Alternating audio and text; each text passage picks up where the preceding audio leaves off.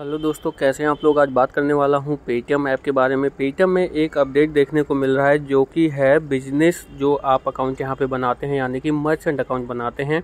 और वहाँ पे आप या तो स्वाइप करके पेमेंट लेते होंगे और जो कि स्वाइप मशीन होती है पेटीएम की, उसकी। और साथ ही साथ आपको बता दूँ कि जो साउंड बॉक्स होता है, अगर आप उससे पेमेंट रिसीव करते हैं अपने जो कस्टमर्स होते हैं उनसे और साथ ही साथ अगर क्यू आर कोड पर स्कैन करके आप पेमेंट रिसीव करते हैं तो उससे रिलेटेड ही ये अपडेट है जो कि ऐप में आपको नोटिफिकेशन हो सकता है, दिख गया हो या दिखने वाला है इन फ्यूचर उसी के बारे में बात करूँगा, वीडियो पहली बार देखे तो लाइक कर देना चैनल सब्सक्राइब आपको बता दूँ कि वहाँ पे देखिए इस तरह से कुछ नोटिफिकेशन आपको देखने को मिल रहा होगा, जो कि है अपनी दुकान को बनाए पेटीएम वेरीफाइड इस तरह से करके अपने के वाई डॉक्यूमेंट्स अपलोड करें, अभी अभी अपलोड करें और पैन कार्ड जीएसटी और आधार आपको ऐड करना है वहाँ पे।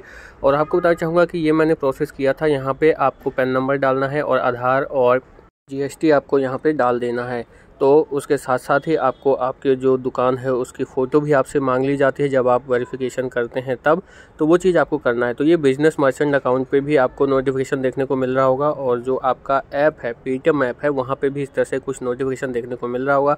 तो अगर आपने अभी तक नहीं किया है तो आप इसको कर सकते हैं और अगर आपने कर लिया है तो बहुत अच्छी बात है। मिलते हैं अगली वीडियो में। आप अगर क्रेडिट कार्ड लेना चाहते हैं या सोच रहे हैं तो इंस्टेंट अप्रूवल लिंक वीडियो के डिस्क्रिप्शन में मिल जाएगा। डिफरेंट बैंक के क्रेडिट कार्ड के तो वो जा करके आप अप्लाई कर सकते हैं। एट द रेट साढ़े टाइम्स नाम से इंस्टाग्राम अकाउंट है, वहाँ पर आ सकते हैं, वहाँ पर आपसे बातचीत हो सकती है, कुछ शेयर करना है या पूछना है तो आप पूछ सकते हैं।